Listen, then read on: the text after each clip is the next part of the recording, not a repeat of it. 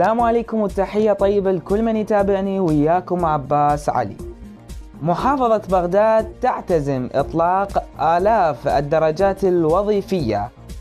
أعلنت محافظة بغداد السبت عزمها إطلاق آلاف الدرجات الوظيفية قريبا.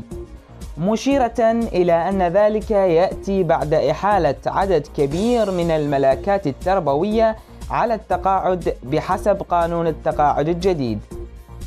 وقال محافظ بغداد محمد جابر العطا في تصريح لصحيفة الصباح الحكومية أن المحافظة ستطلق قريبا الدرجات الوظيفية للعام الحالي 2020 ضمن حركة الملاك لعام 2019 وذلك بحسب قرار مجلس الوزراء القاضي بإطلاق التعيينات بشكل مستمر ضمن حركة الحذف والاستحداث للعام الماضي 2019 هذا كان الفيديو. إذا كان عندكم أي سؤال أو استفسار تقدرون تراسلونا على حساباتي فيسبوك وانستغرام وأيضا قناتنا بالتليجرام ننشر بها الأخبار العاجلة والمهمة. أسرع من اليوتيوب رابطها راح يكون مثبت بأول تعليق. نشوفكم بالفيديو الجاي. في أمان الله.